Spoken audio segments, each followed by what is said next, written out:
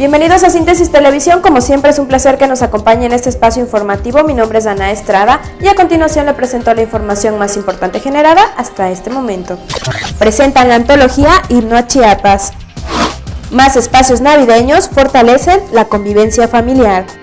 En el Congreso del Estado se presentó la antología Himno a Chiapas, una compilación del licenciado José Luis Castro, cronista de la ciudad. Todos los detalles en la siguiente nota. El Congreso del Estado de Chiapas, a través de la Junta de Coordinación Política y la Comisión de Educación y Cultura, en colaboración con el Consejo Estatal para las Culturas y las Artes de Chiapas, presentaron la antología El Himno a Chiapas, una compilación de José Luis Castro, cronista de la ciudad de Tuxtla Gutiérrez. Al respecto, el diputado Luis Fernando Castellanos Calimayor, presidente de la Junta de Coordinación Política del Congreso Chiapaneco, indicó que la presentación se realiza en el marco de los 100 años de la creación del himno a Chiapas. Habiendo recorrido el texto que nos convoca, no me puedo extender en esta reflexión, pero diré que he encontrado una antología perfecta de una historia que ha plasmado este gran libro conmemorativo del primer centenario de la creación de Lima Chiapas.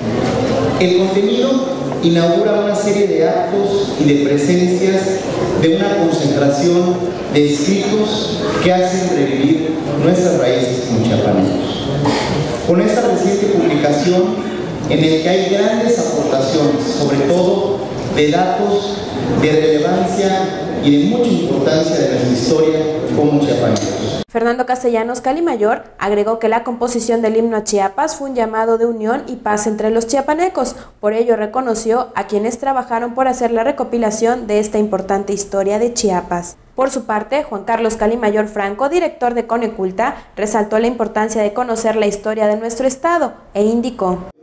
El apoyo del gobierno por eh, tener vigente la historia de nuestro estado, por la importancia que esto representa y porque sepamos los chiapanecos más allá de las ceremonias cívicas, pues la profundidad de los conocimientos históricos que nos permite, conociendo el pasado, saber nuestro presente.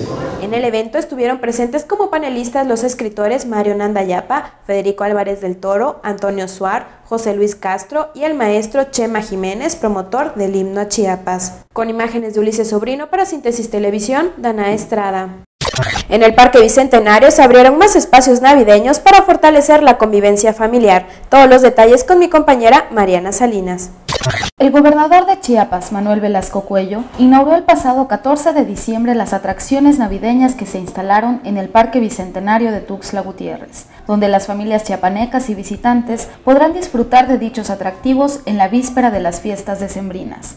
Acompañado de Leticia Cuello de Velasco, presidenta del DIF Chiapas, el gobernador encendió el tradicional árbol de Navidad y compartió con los asistentes la apertura de la pista de hielo, el tobogán y las villas navideñas como una opción de esparcimiento familiar. La pista de hielo tiene una medida de 40 metros de largo y 20 metros de ancho, supervisadas por instructores que brindan cuidado y apoyo a los usuarios para que puedan disfrutar de manera libre y adecuada las actividades presentadas.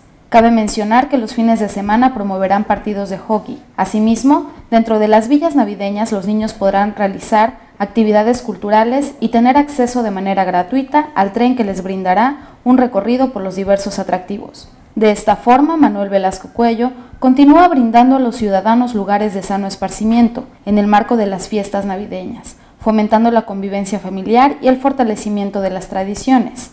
La instalación de dichas actividades estará hasta el 7 de enero del 2014 con un horario de 12 del día a 10 de la noche. Con imágenes de Ulises Sobrino para Síntesis Televisión, Mariana Salinas. Esto ha sido todo en este espacio informativo. Lo invito a que continúe con sus visitas a nuestro sitio web y también a nuestras redes sociales, ya que adquiera el semanario impreso que ya se encuentra en diferentes puntos de venta de la entidad. Con imágenes de Ulises Sobrino para Síntesis Televisión, Dana Estrada. Y recuerde, sin libre expresión no hay libertad.